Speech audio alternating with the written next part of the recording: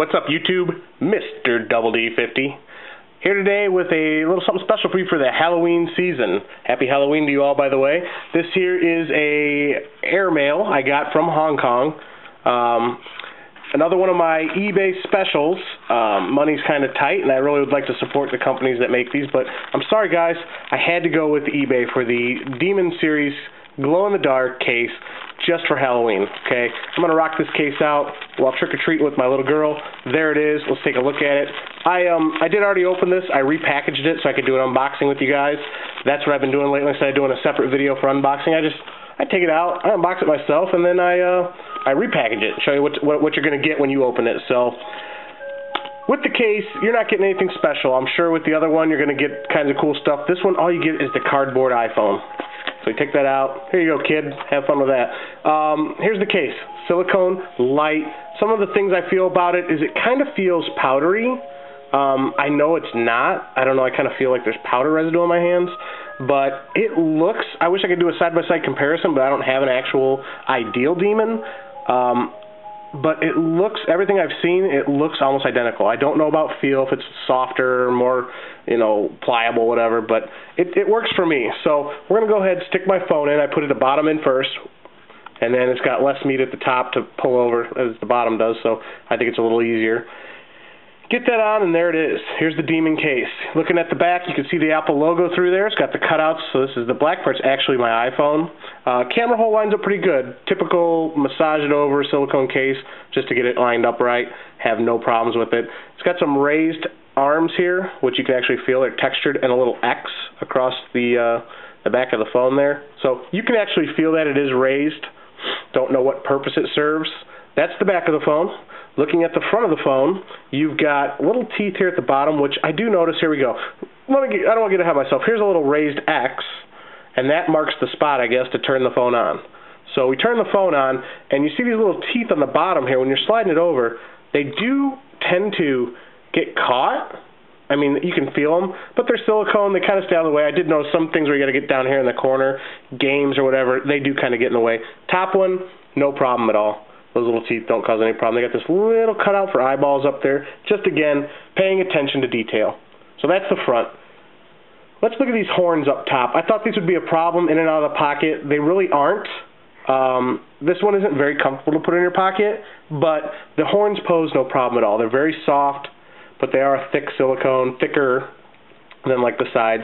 So they don't get caught or anything. They will just bend and flop right out. That being said, this does cover the case, or the bezel, bezel, sorry. It does have a lay on the table, so because it's kind of raised up, and it won't um, it won't let your chrome get scratched or anything like that. The side here has a raised volume bar, which is really cool because it's so easy to turn your volume up or down with that raised bar. You know, I'm barely pushing. The vibrate switch, good luck. You got to have that long fingernail to get in there and turn it on or off. Okay, so that's kind of a negative to it. The top is completely wide open. That being said, you see I can kind of pull it down and move it around. Not too sturdy, but no silicone cases. I haven't seen, other than like the Solo FX, things like that. The, the silicone is so soft, it moves around. So is the bottom, but not a big problem like with sag or anything because this is huge piece here and this is the whole back of the case. But they do kind of move around. So that's my review of this case. Overall, I'm going to give it two thumbs up. It was well worth the five or six dollars I paid from eBay. I will include a link to the sidebar over there, so you can access the YouTube and or uh, I'm sorry, the eBay thing and buy one for yourself. It does take two upwards of two weeks, so you guys got to order it now so you can get it by Halloween for your Halloween parties or whatever. That's what I'm going to use mine for. I'm going to take it to the Halloween parties because it does glow in the dark, and that's kind of cool. So this is a double feature extra bonus.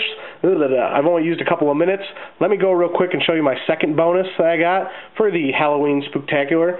An app I've been playing lately for $1.99 in the App Store. I think it's a lot of fun. Ooh, spooky. Zombieville, USA. Touch if you dare, and I do dare. Here's your main screen. You got some options how to play, resume, uh, new game. I, my best was level 9 with 100 or whatever zombies, so real quick take you through. You got your right arrow to go right, left arrow to go left, and you're just going to run through. You're going to shoot zombies. You can go in the house, collect something. I got some money. You got 94 ammo up there, $44. You got pause if you need to pause it. Come back out. real quick. Get through as fast as I can. Ignore those zombies. The red button is going to be your gun. Now, he was punching me. See my health going down. If they get close like that, you got the green button here, and this is a bonus. A little bonus for you. Whack! Whack them. It does take like four or five whacks with that bat to knock them off, so that's tough, but you're just going to use it to say, hey, back off. I'm trying to get through here. It's got a cool soundtrack. I mean, Halloweeny. Ah, he's going to kill me before I get to the end. Can't have that happen. For the sake of minutes, I'm trying to guys get you there. I might cut this on. No, there we go. Level clear. So you get to the end of the level, and you have the option here. Now I only got 85 bucks. If you kill more zombies, you get money. You can buy, uh, upgrade your weapons, handgun with a scope, shotgun. You can get some more health, buy a sledgehammer. As the levels go on, you can buy an Uzi, um, tactical shotgun, bazooka, things like that. So this is it, $1.99, Zombieville, USA. Really fun game, really cool game. Good for the Halloween season. It's been out for a while, but I thought I'd just show it to you guys. Let the zombie kill me real quick, and we'll call it a day. Thanks for watching, guys. Make sure that you uh, drop me your comments down there. Give me five stars if you thought my holiday Halloween spectacular was fun or not. And uh, make sure you subscribe to me, okay? Please subscribe to me, guys. Gonna do some giveaways the more subscribers I get. So talk to you later. Thanks for watching. Bye.